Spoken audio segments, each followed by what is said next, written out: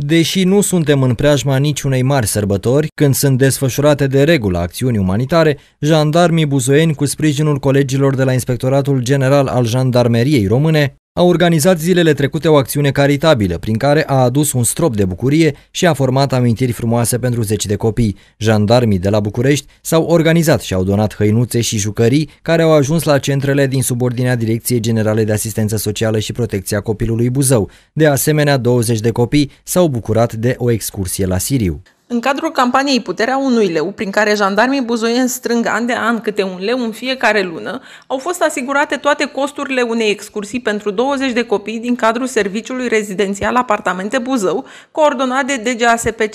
Pe parcursul celor două zile petrecute la o pensiune situată pe malul lacului Siriu, s-au îmbinat plăcutul, drumeții, ateliere de alpinism, jocuri și plimbare cu ATV-ul, cu utilul. Jandarmii montani le-au dat câteva sfaturi utile privind siguranța în drumeții, orientarea în teren și modul în care să reacționeze atunci când întâlnesc un animal sălbatic. La sfârșitul excursiei, cea de-a opta organizată de jandarmii buzoieni pentru copiii din cadrul centrelor DGASPC, toți participanții, deopotrivă jandarmi și copii, au rămas cu emoțiile și bucuriile unor momente de neuitat.